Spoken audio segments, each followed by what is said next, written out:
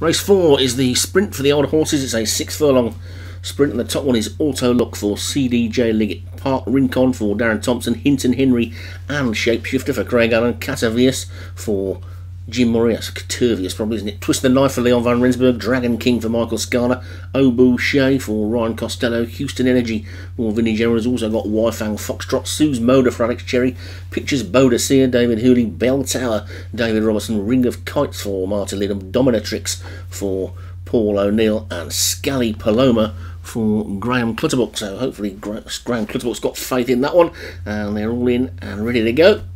And away they go then. And who's going to be the first one to show this time? A little bit slow out was Sue's Motor. I'm pretty sure that was around last season. But Shapeshifter has probably just got into the lead though. And now the Jim Murray front runners, Catervius is coming through in the red sleeves over on the road. Down on this near side, Bell Towers also close up. So too is Twist the Knife. And Houston Energy is also not too far away from the leading group as well. But there's about six or seven of them in a line at the moment. But Shapeshifter is probably just in front from Catervius in second. Then Twist the Knife and Houston Energy. Pictures Bodicea is also going well. Bell Tower is nearest to us. Dragon King is after that one. Then comes Ring of Kites and Obu Shea. Auto Look is after that one, looking towards the back.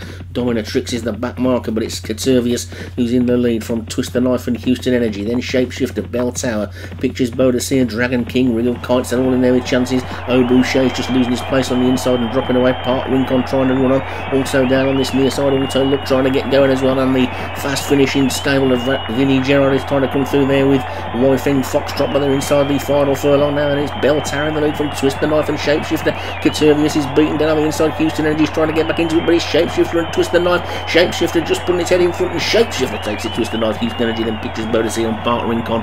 Wyfeng Foxtrot was after that one. And it's the usual protagonists again, isn't it? And these sprints with Shapeshifter for Craig Allen just getting up to hold on from Twist the Knife and Houston Energy. So Shapeshifter for Craig Allen, the winner. Twist the Knife for Leon Van Rensburg was second, Houston Energy for Vinnie Gerard was third, Pictures Bodicea for David Hooley was fourth, and Bell Tower for David Robertson was fifth.